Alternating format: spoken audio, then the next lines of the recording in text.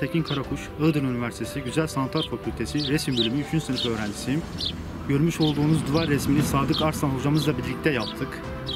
E, Bu süreçte çok verimli deneyimler yaşadık. Emeği geçenlere teşekkür ediyorum. Ben Sadık Arslan, Iğdır Üniversitesi Güzel Sanatlar Fakültesi Resim Bölümü öğretim üyesiyim.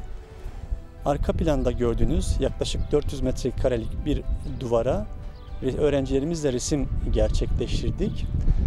E, Bu süreçte bizleri cesaretlendiren ve destekleyen kıymetli rektörümüz Sayın Mehmet Hakkı Alma'ya çok teşekkür ediyoruz. E, Katkılarından ötürü resim bölümü öğretim üyelerinden doktor öğretim üyesi Abdültekin Bey'e ve doktor öğretim üyesi Mehmet Sıddık Turan Bey'e çok teşekkür ediyorum. Ee, ayrıca bu sürecin gerçek kahramanları olan e, öğrencilerime bana eşlik, eşlik ettikleri için çok teşekkür ederim.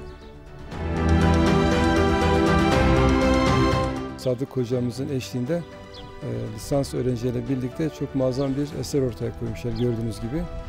Üniversitemiz şu anda Green Matrix, Yeşil Matrix sıralaması dünya çapında 152. Türkiye'de 12. oldu. Gittikçe zemini ve her tarafı zinetlendirmeye gayret ediyoruz.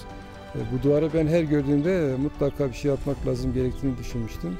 Sağ Sadık Bey ile paylaşık sonunda e, amacımıza vasıl olduk. Tebrik ediyorum kendilerini.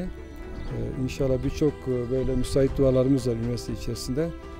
Onları sıradan klasik bir sıva değil de bir görsellik aslında bir imaj vermek, bir e, mana hatırlatmak, deratır etmek babından güzel bir e, inkişaf, güzel bir faaliyet olacağına inanıyorum.